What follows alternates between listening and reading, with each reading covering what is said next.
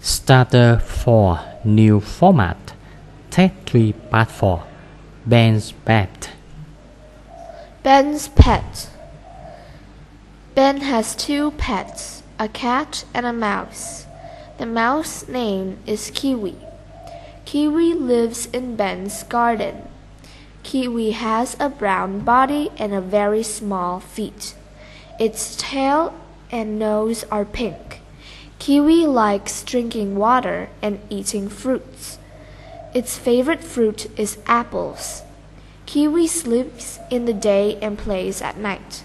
Okay, very good, Sophia. The second time, Sophia. Ben has two pets, a cat and a mouse. The mouse name is Kiwi. Kiwi lives in Ben's garden. Kiwi has a brown body and very small feet. Its tail and nose are pink. Kiwi likes drinking water and eating fruit.